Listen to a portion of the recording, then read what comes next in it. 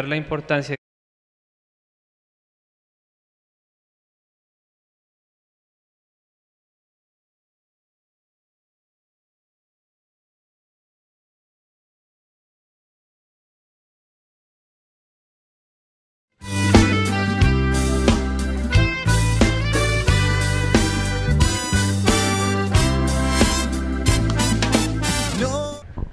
Bueno, em, creo que a lo largo de las ponencias de este día hemos hablado en varias ocasiones desde distintos puntos de vista de todo este tema del Internet, de la adicción eh, que en muchos casos esto supone.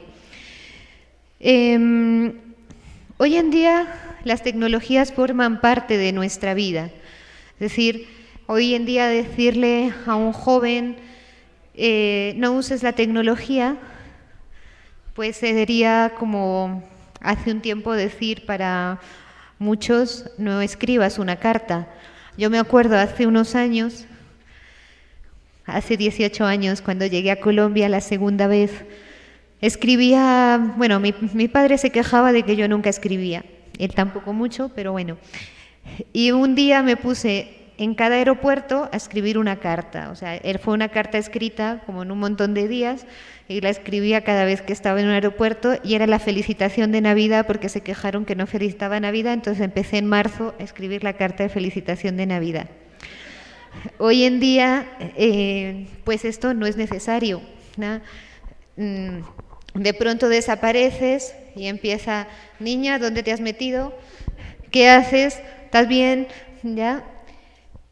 Em, y mucho más para las nuevas generaciones. Hoy en día hablamos de lo que son los nativos digitales, que son aquellas personas, aquellos jóvenes que nacieron después del año 1993, que es el año que se considera el boom de la tecnología y em, del Internet, de la era digital interconectada, que es una realidad que para ellos les viene dada. Para los que nacieron después del año 1993, los que nacimos entre ese año y 1945, pues somos de la posguerra.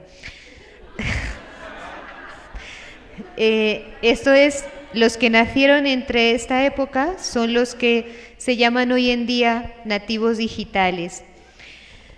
Em, ¿Y qué es lo que cambia? Los nativos digitales no necesitan instructivos para funcionar este en este mundo de la tecnología. Uno ve hoy a una niña, un niño de dos, tres años, que maneja el celular mejor que nosotros. ¿sí? Nosotros nos dan un celular digital eh, un computador y ten, a ver, enséñame cómo. Ahora me lo cambiaron, me, me cambié el teléfono y no sé cómo encontrar los contactos. ¿sí? no sé cómo envío un archivo por este teléfono que es de otra marca y otro modelo. Sin embargo, hoy en día los niños, a los jóvenes, es como si esto naciera con ellos. Eh, y, bueno, y es un momento de la historia en que por primera vez el intercambio de papeles en el estudio en muchos casos se hace hasta innecesario. Es decir, la tecnología nos, nos ayuda, eh, si la utilizamos bien, tiene muchas herramientas que permiten estudiar, que permiten aprender, pero el problema está cuando hacemos un mal uso de ellas y cuando empezamos, em, no se utilizan como se deberían utilizar. Vamos a hablar de esto. Tiene luces y sombras, es decir, tiene cosas muy buenas y también cosas muy malas. Em, le afecta un problema general de nuestra época, el progreso de las capacidades humanas, que son hacer, saber, comunicar, etcétera, que no siempre ha sido precedido o al menos acompañado por la adquisición y la difusión del saber y la prudencia necesaria para gobernarlas adecuadamente, de forma que esas mayores capacidades redunden en el bien de los individuos y de la sociedad y no en su empobrecimiento y corrupción. La tecnología avanza, pero ¿qué tan preparados estamos nosotros para utilizarlas hoy en día adecuadamente. Es decir, que no se conviertan en un arma contra nosotros y contra la sociedad. Para esto es necesario hacer del Internet un recto uso. El problema ético del Internet es que lo usemos bien, de la, que tengamos la formación y la virtud necesarias para usarlo rectamente. ¿Qué debo ver? ¿Qué debo usar? ¿Y cuándo debo tener la fuerza de voluntad para decir, no más, hasta aquí? Em, para hacerlo, para hacer un buen uso del Internet, usarlo siempre para algo determinado, buscar algo concreto, sabiendo dónde buscarlo o utilizando un motor de búsqueda cuyo funcionamiento se conoce bien. El tema de conectarse simplemente por pasar el tiempo, porque estoy aburrido, se convierte normalmente solamente en curiosidad, en pérdida de tiempo y ya tiene algo negativo, que en muchos casos da lugar a cosas más graves.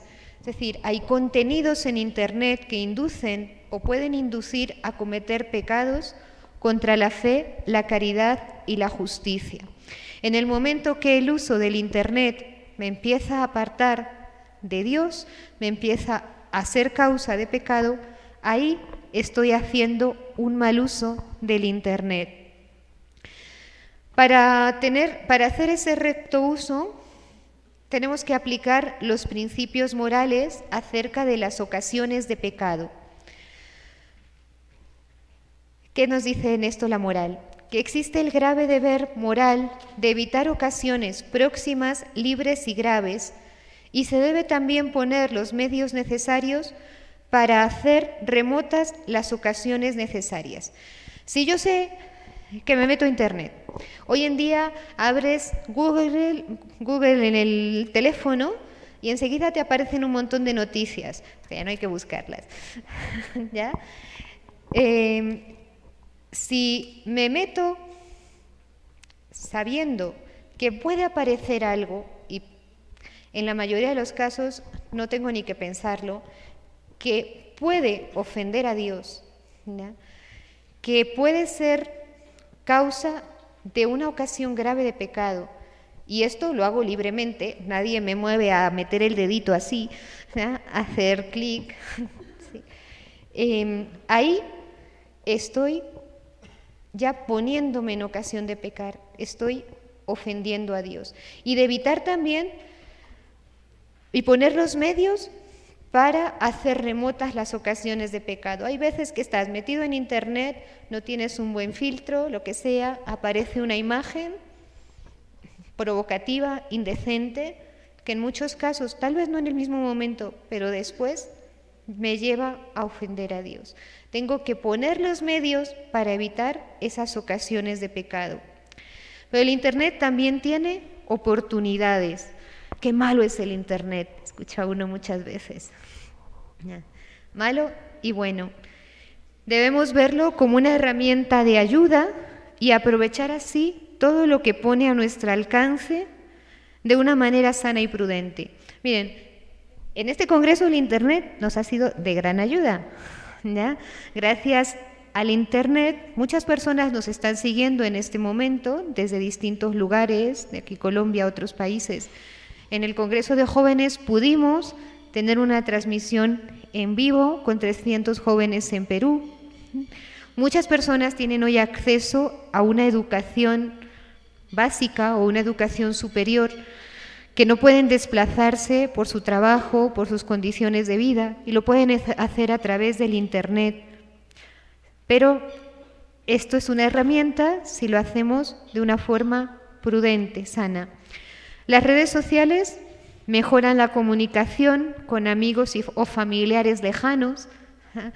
Eh, como les decía hace unos años, o era la carta, yo como soy de España, mi padre ofrecía telefónica una llamada gratis a los, en, Navidad a los familiares que, que tenían eh, misioneros en el extranjero, a las familias que tenían Y entonces era el día que más podías hablar, porque se te llamaban otra vez del año, era, venga, venga, habla rápido, que esto corre mucho, que vale mucho dinero.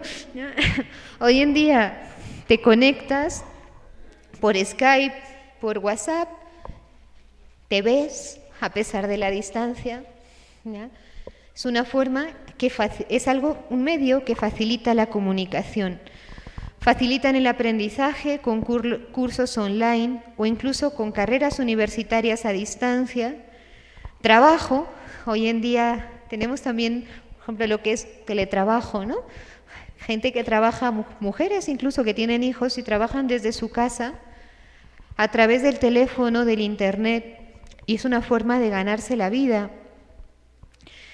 Em, se puede buscar empleo. Antes poníamos un aviso en el periódico para, para buscar, necesito un profesor, necesito... Hoy pones un aviso por internet y te llegan hasta lo que no estás buscando. Riesgos y consecuencias de un uso inadecuado. Riesgos. Los contenidos que pueden impactar el desarrollo evolutivo de los menores de edad. Hay contenidos que hacen daño a los menores de edad porque no están preparados para enfrentar esa realidad. Contacto con usuarios malintencionados, ahora lo vamos a ver más adelante, lo que es el sexting, el bullying, el ciberbullying, el grooming, por medio de herramientas de mensajería instantánea, chats, foros, correo electrónico, todas estas cadenas que se han difundido, eh, ahora vamos a hablar también de ellas. Descarga de archivos, documentos, imágenes, música, vídeos que se encuentran contaminados, el uso por parte de menores de los datos de cuentas bancarias para realizar compras online, contratar servicios de cualquier tipo, hacer apuestas, etc. Y el tema eh, el que queríamos también llegar, la adicción. El Internet produce, con un uso descontrolado, produce adicción eh, que se conoce en psicología, en psiquiatría, como desorden de adicción al Internet. Los niños, como los adultos, pueden llegar a generar dependencia. Es ese afán de em, buscar, muchos casos en los jóvenes, afecto, aprobación, alguien que me quiera, aunque no lo conozca, em, que me ponga un like. Pendiente, subo una foto, tenemos una, una convivencia de chicas en, en Armenia, eran todas adolescentes, y se pasaron los dos días del encuentro tomándose fotos, ¿no? No voy a hacer las posturas porque creo que no me pega mucho. Pero todo el día las veíamos con el celular tomándose fotos, subiéndolas a, internet, subiéndolas al Facebook. ¿Y qué buscan? Buscan la aprobación. Buscan la aprobación, tal vez una aprobación, es una, en muchos casos una aprobación falsa, porque es que me aprueben muchas veces por algo que no soy, y que crea esa falta de madurez. La tecnoadicción, ¿qué es? Es la dependencia o uso obsesivo de dispositivos digitales y todo lo que conlleva la tecnología de la información y comunicación, así como hacia los videojuegos, una dependencia que no solo deteriora la funcionalidad del adolescente, sino que le abre el camino hacia otras adicciones. Igual que otras adicciones, genera el cerebro, genera esta sustancia, la dopamina, eh, ante el estímulo, también el estímulo de las redes sociales produce esta sustancia en el cerebro y por lo tanto busca cada vez más conectarse, aparta de la realidad. El Internet, mucho, en muchísimos casos no nos hace más sociables, sino al contrario, menos sociables, porque nos aparta de lo que pasa alrededor. Aquí la hermana Hilda, con su grupo de jóvenes, les hizo, no sé si lo contaron ayer porque me perdí la, bueno, ustedes no estaban, así que lo puedo volver a contar. Em, hicimos un rosario en un parque, Rosario por la Vida, ¿no? Y lo organizaban ellos. Y la, el reto, por decir de alguna forma, que les puso a los jóvenes fue que la preparación era no usar el Facebook, creo que fueron nueve días antes. Tres meses antes me están haciendo señas por allá las víctimas de la hermana Hilda. Eh, ya, entonces, y lo lograron y alguno me decía, me estoy dando cuenta de un montón de cosas que antes no me daba cuenta. Es que estaban aislados. ¿ya? Al principio costó un montón despegarse del Facebook. Luego se dieron cuenta que no lo necesitaban, que para ser sociables no necesitaban estar pegados a esto. ¿Cómo identificar al adolescente que está viviendo esta adicción? Pasan más de 90, 90 minutos diarios en esa actividad, al adolescente o al adulto. ¿vale? a cualquiera. Pasan más de 90 minutos diarios en esta actividad. Pierde totalmente el contacto con su entorno. Se muestra irritable cuando le interrumpes. Déjeme tranquilo. Miente cuando le, cuando le preguntas cuánto tiempo lleva ahí sentado. Descuida sus deberes escolares o sus quehaceres domésticos.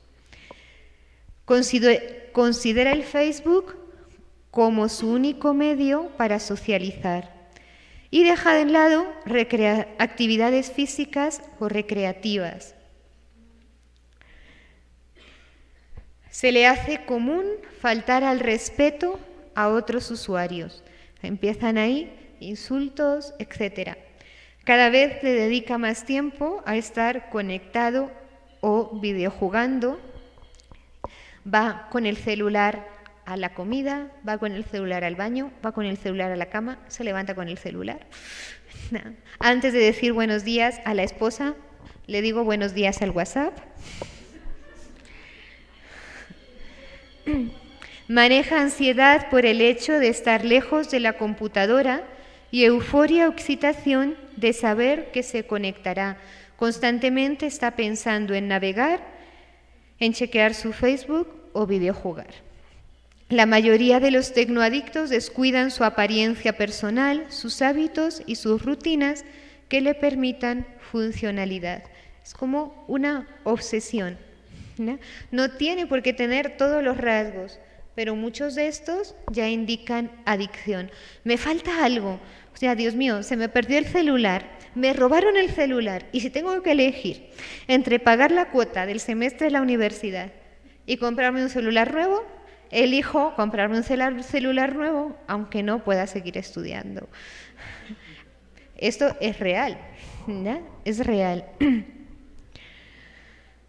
En otras palabras, han convertido la tecnología, el videojuego, la información o la comunicación en un eje en el cual gira su vida al punto de considerar que es el único medio para ser feliz. ¿Qué quiero que me regales? Un celular. ¿Ya? Un iPod, lo que sea. Es como lo imprescindible. Me puede faltar la novia, me puede faltar la madre, me falta Dios, pero eh, no que no me falte el celular. ¿Cuáles son las consecuencias de esta adicción. Dificultad para postergar la gratificación. Lo queremos todo ya. Si no me responden ya, me empiezo a impacientar. Quiero llegar a la meta antes de haber subido la montaña. Quiero llegar a la cima sin haber hecho el esfuerzo de escalar y subir. Y esto luego se refleja en la vida diaria, en el trabajo. Eh, recibe uno a un joven, no a todos, para que luego no me peguen los que están aquí, son trabajadores míos. Eh, recibe uno a un joven y a la primera frustración en el trabajo, es que me siento frustrado, lo primero que me sale mal, me siento frustrado, no logro impactar en esta organización. Em, falta innovar, yo quiero innovar, muy bien, pero para llegar a la cima tienes que subir la montaña. Y subir la montaña no es ya, no es como que me pongan, me respondan un WhatsApp, no es como que me pongan un like, a veces te demoras 10 minutos en responder y ya, auxilio, dejan respirar un poquito. Descuido y abandono personal, desatención de roles importantes, cuidado de los formadores y los padres de familia. Eh, mucho del abandono de los jóvenes y los niños hoy se debe al mal uso de la tecnología. No permito que el niño, el joven, me interrumpa cuando estoy chateando. Respondo de mala manera, no tengo espacio para dialogar con él porque estoy metido en otro mundo, no me doy cuenta de sus preocupaciones, de lo que pasa. Niños solos por, padres conectados. Inmadurez psicológica y social, porque no me doy cuenta de lo que pasa a mi alrededor. Intolerancia a la frustración, síndrome de abstinencia.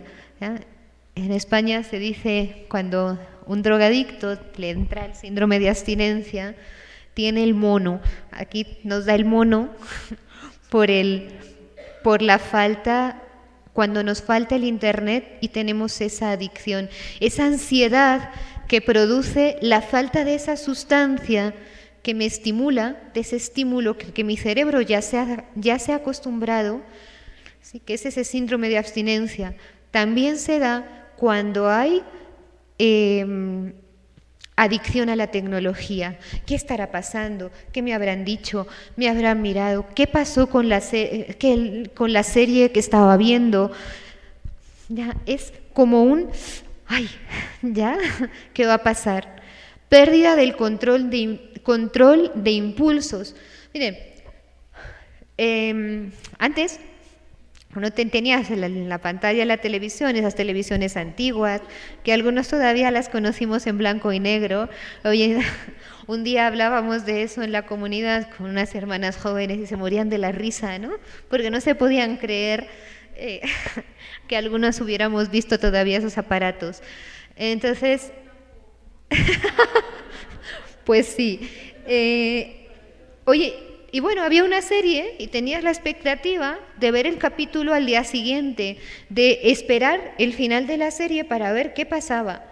Pero hoy en día veo una serie por internet y me salto 20 capítulos para ver el final. ¿Ya? ¿Qué es lo que pasa con los que leen libros por el final? Dicen que los inteligentes leen el libro, empiezan a leer el libro por el, por el índice, por el principio, ¿no? Y los curiosos por el final. los que leen. Conductas antisociales, que es otra de las consecuencias del mal uso del Internet. El excesivo tiempo que pasan los adolescentes en las redes sociales es una condición de riesgo para la aparición de conductas antisociales. El aumento del tiempo dedicado a las redes sociales reduce en exceso el tiempo dedicado a otras actividades e influencias necesarias para el desarrollo equilibrado de la adolescencia. Estoy tan metido en el Internet que no me doy cuenta de lo que pasa a mi alrededor. Vamos a hablar de las redes sociales. Las redes sociales nacieron como un nuevo modo de comunicarse, pero han ido mucho ya, mucho más allá, hasta cambiar el modo de funcionar de las personas han sido capaces de alterar no solo el modo de interactuar, sino que ahora mismo son uno de los medios de entretenimiento más populares, hasta el punto de que una persona puede dedicarle muchas horas cada día. Los jóvenes llegaron al mundo al mismo tiempo que las redes sociales, los nativos digitales del, después de 1993 y por eso las asumen como parte integrantes de sus vidas. Tienen una gran atracción por cinco razones principales. Producen, nos, nos ayudan a tener interactividad, permiten desarrollar multiplicidad de tareas al mismo tiempo. Desde ahora el espacio y el tiempo ya no son una frontera. Escribías una, em, escribías una carta y tenías que esperar un tiempo largo en que te llegara la respuesta. Pones un correo electrónico, que en muchos casos ya ni se usa, pones un mensaje en una red social, por WhatsApp, por Facebook, donde sea, y en el mismo momento puedes tener una respuesta. Ya no son una frontera infranqueable gracias al desarrollo de la tecnología, em, que se vuelve en una plataforma multiplicadora de la voz de las minorías. Es algo que también tiene el riesgo de caer en lo que se llama el multitasking, que es la multiplicidad de tareas, aunque en muchos casos tampoco es multiplicidad de tareas, sino es esta dispersión, esta falta de concentración. Tiene el riesgo de caer, bueno, favorece la dispersión, la mala gestión del tiempo y la superficialidad. Si nos enganchamos en las redes sociales sin un fin real, sin buscar un bien, analicemos cuánto tiempo perdemos conectados a ellas. Tiempo que a lo mejor podemos dedicar al estudio, a la formación, a hacer un trabajo, a hacer el bien. ¿No? es que sean malas, pero si no las utilizo con un fin concreto, bueno, se convierten en un obstáculo. La otra razón de la atracción, la sociabilidad, prolonga las relaciones offline en los medios online el desarrollo tecnológico permite ampliar las áreas de conocimiento mutuo gracias a la facilidad que ofrecen en compartir materiales digitales, pero también tienen el riesgo de la fugacidad y propia profundidad de los mensajes generados. Puedo ser social, pero mostrar una realidad que no tengo. Intimidad. Crean espacios de intimidad y privacidad si se hacen de una forma responsable. Em, es una oportunidad de publicar o no determinados contenidos, reflexionar sobre la repercusión de sus acciones, con el riesgo de que una gestión de las redes cerrada al consejo de sus padres, de sus formadores en los jóvenes, podría promover el aislamiento del mundo adulto y, por tanto, de sus oportunos consejeros para saber disfrutar aún más y de modo más adecuado de las redes. Se hace un uso de las redes, por ejemplo, estos retos que eh, el tema de la ballena azul, ahora vamos a ver un poquito, que creo que fue bastante conocido.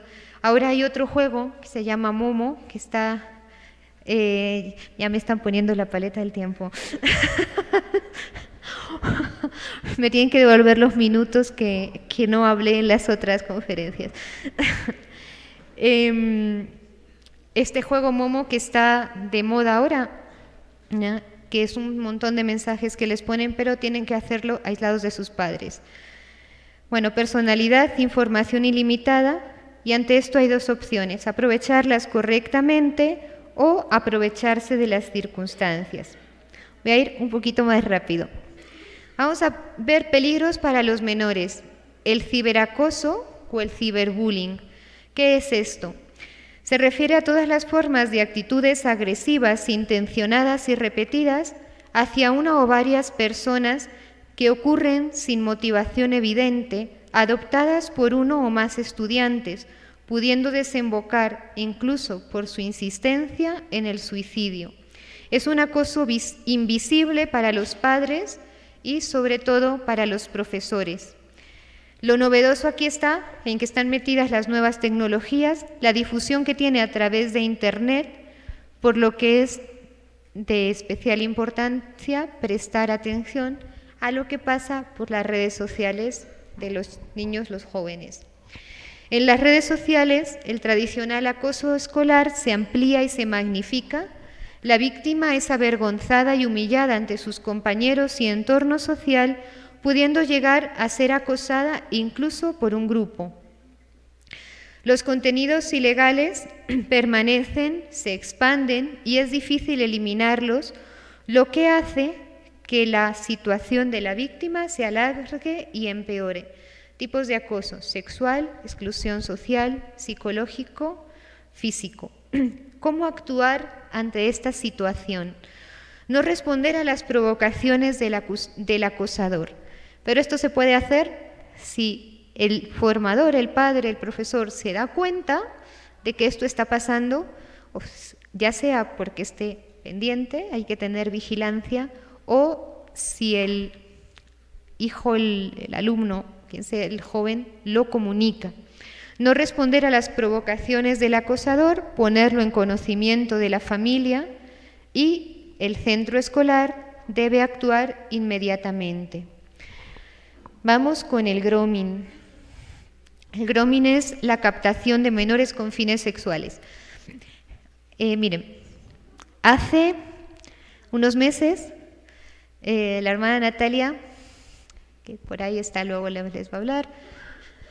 Eh, quería comprar una cámara, queríamos comprar una cámara para la formación que tenemos virtual de un grupo de formadores, formación de formadores que tenemos online con nuestra, nuestra obra.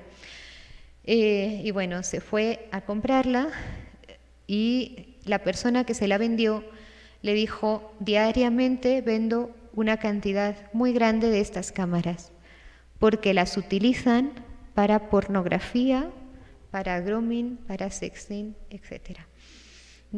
Nosotras la íbamos a utilizar para una formación. La rueda de prensa que tuvimos al inicio del Congreso la hicimos con esa cámara. Pero hoy en día las utilizan para todo esto. Constituye el repertorio de estrategias que una persona adulta desarrolla para ganarse la confianza de un menor a través de Internet con el fin último de obtener concesiones de índole sexual. Establece lazos de amistad, obtiene información, logra el envío de imágenes comprometidas, empieza a través del ciberacoso, del chantaje, y esto ya luego empieza con la alarma social cuando se difunden estas imágenes. ¿Cómo establecen el contacto? A través de chat, de redes sociales, de páginas de exhibición física, eligen a su víctima, usan el Messenger y otras aplicaciones que permiten privados para hablar de una manera más íntima y personal.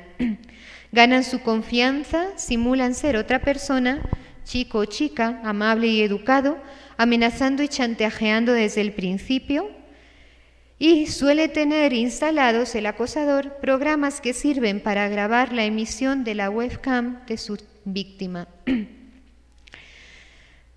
Consecuencias psicológicas para las víctimas. Miedo, incluso a salir de casa, inseguridad en sus relaciones con los demás, pánico a los desconocidos, pérdida de amistades, humillación pública al ver sus desnudos conocidos en su entorno escolar o personal, disminución de rendimiento escolar, cambios de carácter y comportamiento. El sexting o sexcasting, el menor como víctima. Voy a poner un video cortito de este tema.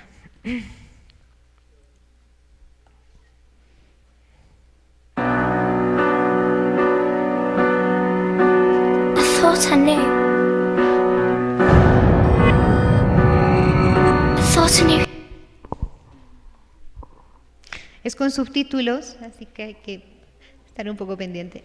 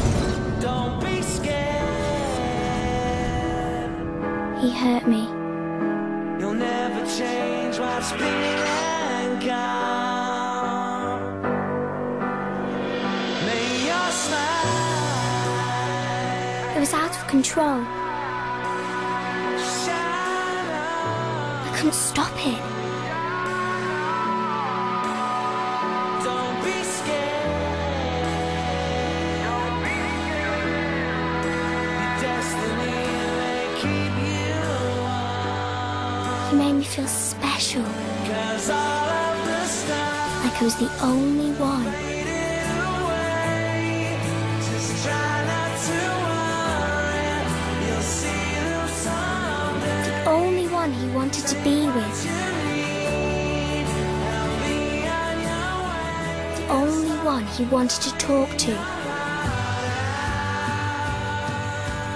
The only one he wanted to see. You know, really see. That's when it started. When it got out of control. When I thought I was going to get into trouble. There is a way forward. It's better to tell someone.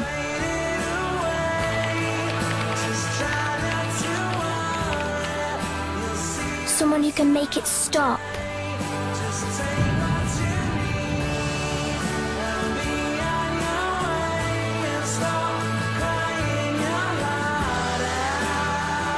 Then it won't happen at all.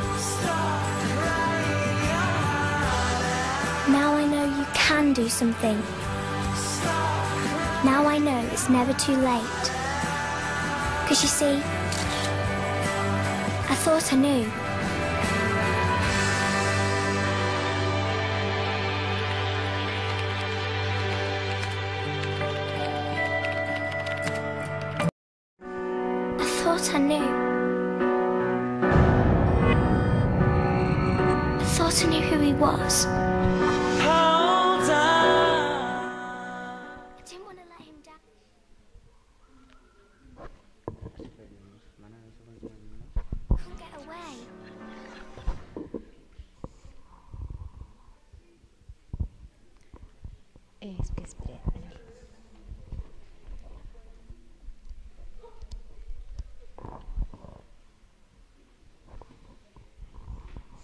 Nos supera la tecnología.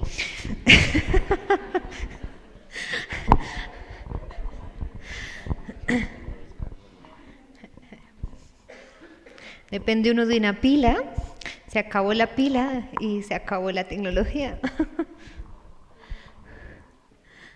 Gracias. Bueno, eh, ¿en qué consiste el sexting? En la difusión o publicación de contenidos, principalmente fotográficos o videos de tipo sexual, producidos por el propio remitente, utilizando para ello el teléfono, el teléfono móvil o, o otro dispositivo tecnológico, a través de email, redes sociales o cualquier otro canal que permitan las nueva- nuevas tecnologías. Razones. Falta de la cultura de la privacidad. Antes nadie entraba a tu habitación. Hoy en día te metes con un celular, tiene todo el mundo dentro. Los jóvenes no tienen muchas veces, la gran mayoría de los casos, la conciencia de lo que supone empezar a tomarse fotos y subirlas a internet. No, tienen, no saben muchas veces la repercusión que esto tiene. La menor conciencia de los riesgos y exceso de confianza, no va a pasar nada. Adolescencia, despertar sexual y sexualización precoz de la infancia, de esto ya nos habló Gabriel esta mañana, inmediatez de las comunicaciones, esta inmediatez hace que en ocasiones no exista periodo de reflexión. No pienso, si lo que voy a hacer tiene repercusión o no, para mí o para los otros. El sexting aumenta el riesgo de sufrir, grooming por parte de pederastas y de hecho el proceso del grooming pasa habitualmente por la obtención de fotos eróticas de los menores. El sexting aumenta el riesgo de sufrir ciberbullying, pues proporciona armas a los acusadores para humillar al menor o a la menor que ha posado desnuda o en poses eróticas.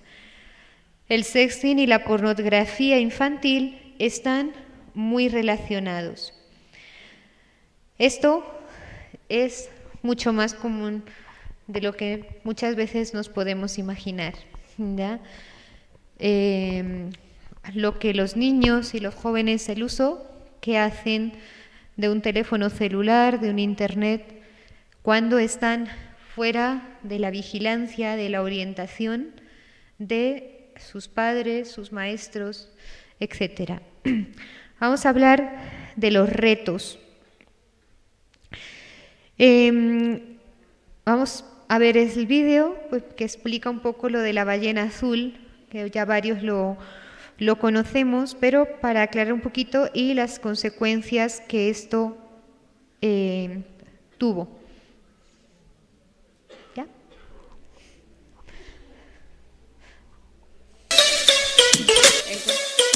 Encontramos en redes sociales a este joven de Marruecos de 17 años.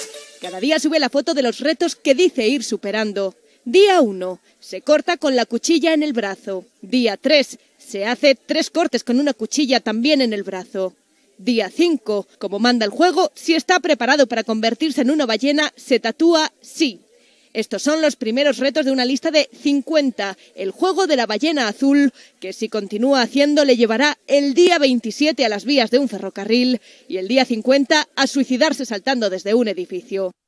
Le escribimos y le preguntamos por qué lo hace y nos contesta. Porque odio mi vida. Le preguntamos si su familia sabe que lo está haciendo y por qué no pide ayuda. La última vez que dije a mis padres que me quería suicidar me pegaron hasta hacerme sangrar. Ellos son la razón por la que estoy deprimido. Le ofrecemos ayuda desde España y nos interesamos por si sus amigos también siguen el reto. Mis amigos no quieren jugar y estoy orgulloso de ellos. No, gracias, no necesito ayuda. Los adolescentes que son más susceptibles de entrar a formar parte de este juego son aquellos que necesitan mayor aprobación del grupo y que necesitan mayor reconocimiento porque en su entorno sienten que no son suficientemente reconocidos. Este peligroso juego se detectó por primera vez en redes sociales rusas hace dos años y los Mossos de Escuadra acaban de identificar en Barcelona un caso que podría tener relación.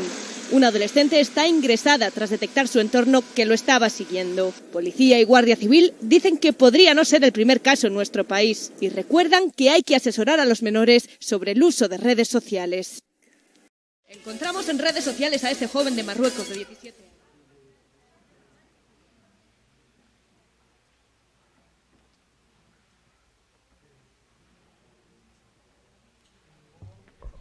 En este juego de la ballena azul, que bueno, tuvimos también varios casos en Colombia, eh, que se tiraron, llegaron al reto 50 y se tiraron de un séptimo piso, no me acuerdo, pero murieron.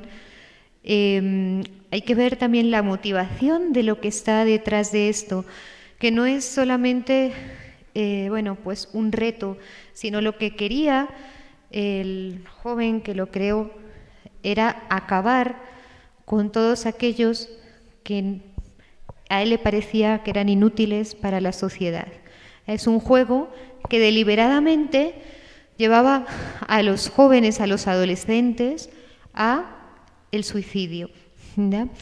Vamos con eh, Momo. ¿ya? Momo es un juego que está de moda, eh, similar a, eh, a este de la ballena azul.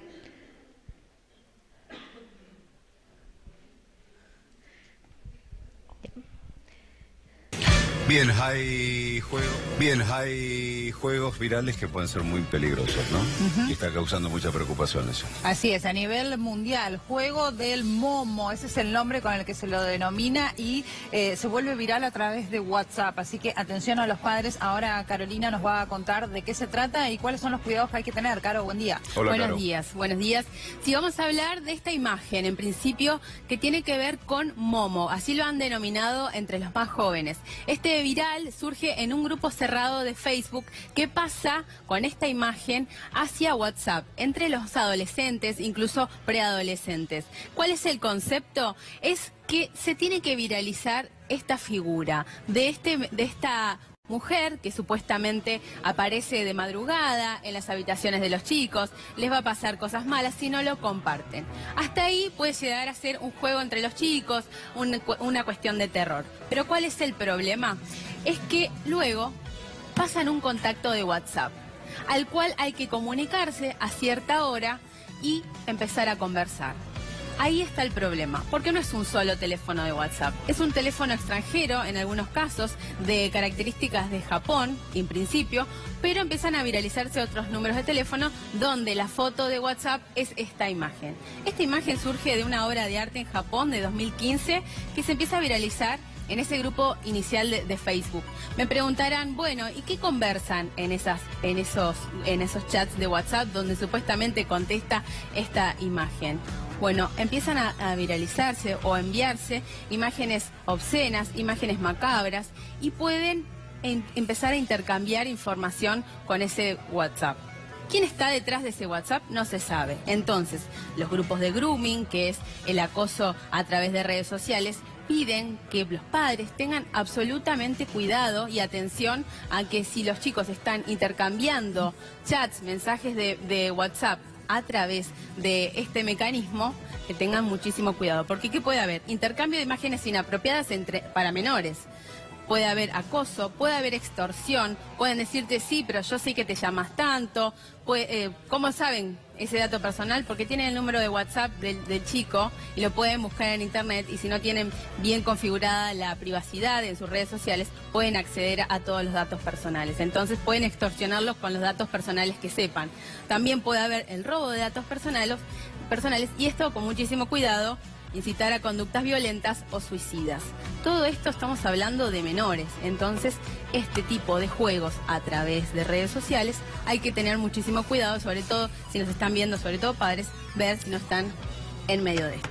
Sí, en medio de este intercambio por WhatsApp, en muchos casos le van proponiendo distintos pasos o distintos Retos. retos, a los chicos, ¿no? Y de hecho hay un caso Mm. de una chiquita que se quitó la vida aquí en la Argentina, en Mashwitz, una nena de 12 años, que lo que están investigando justamente es si había participado o si había caído, digamos, en esta red y se había jugado a, eh, A esto el momo. así se lo, ¿Te acuerdas el, llama, lo juego de la ballena era también, ¿no? Exactamente. Otro muy parecido. similar a eso, ¿no? Eh, exactamente, pero en este caso, lo de la ballena azul aparecía como un listado de retos publicados y que los chicos en distintos grupos privados de WhatsApp, de, de Facebook, empezaron a viralizar. En este caso, es en cada celular de los chicos. No hay grupos, sino que es directamente un mensaje que les va llegando. ¿Quién Claro. está detrás? Un delincuente, seguramente. Y una de las indicaciones en, en uno de los juegos, en uno de los casos que pudieron analizar, era que le pedían al chico, conectate a tal hora, tenés que estar solo, aislado, digamos que no haya un mayor, principalmente le piden en alta... Y todo esto, pues en la mayoría de los casos, a espaldas de los padres, de los maestros, de las personas que tienen que estar pendientes de eh, lo que ocurre con los hijos, con los jóvenes. Es necesario, eh, ya que la tecnología hoy en día forma parte de nuestras vidas, llevar un estilo de vida online positivo. A la habilidad para manejar el Internet ha de acompañar el conocimiento y la prudencia necesarios para el uso correcto. Se necesita una educación moral y firmeza de convicciones sanas en el usuario. Hay que aprender a gobernarlo y no dejarse gobernar por el Internet. No usar el Internet sin saber qué buscas, por tener tiempo libre para encontrar novedades, evitar la ocasión próxima, libre y grave de pecado, y usar el Internet para hacer todo el bien que puedas. lo que nos decía Gabriel esta mañana, es una muestra de lo que se puede hacer con el buen uso del Internet. Grupos donde se detecten estas cosas, donde podamos contrarrestar, eh, donde podamos difundir cosas, eh, imágenes, juegos, videos atractivos para los jóvenes, para los niños, pero a través de los que se transmita el bien. Es necesario que tengan filtros y protectores para el uso del Internet, muchas veces para uno mismo y también para los niños y adolescentes. Son programas capaces de analizar en el acto el contenido de la página web a la que se desea entrar, impedir el acceso al usuario, al contenido negativo. Los controles de los padres son muy útiles, necesarios en un momento dado. Eh, hace unos años tenía un ingeniero de sistemas que no era Cristian, era otro. Y entonces detectó que la gente que trabajaba conmigo, en vez de trabajar, se estaba metiendo a ver no sé qué cosas en Internet. Entonces puso un filtro que cada vez que alguien le daba clic al Facebook, aparecía una imagen. Usted está siendo vigilado por ABC Protein. ¡Pum! No era usted, no. ¿Ya? Un buen filtro. Na- Nadie más, yo creo que me imaginaban a mí detrás de ellos. Hmm. Eh, las nuevas tecnologías, el Internet, constituyen una poderosa herramienta de comunicación, pero hay peligros que pueden afectar gravemente a la familia.